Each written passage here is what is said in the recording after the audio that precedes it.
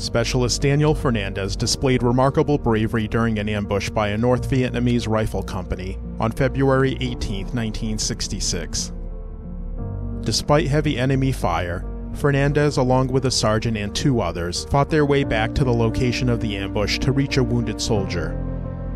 When the sergeant was struck in the knee by machine gun fire and immobilized, Fernandez took command, rallying the patrol's left flank and aiding in the sergeant's rescue. While administering first aid, enemy fire intensified, prompting the group to seek cover. When a grenade landed among them unnoticed by others, Fernandez swiftly jumped over the wounded sergeant and threw himself on the grenade, sacrificing his life to save others.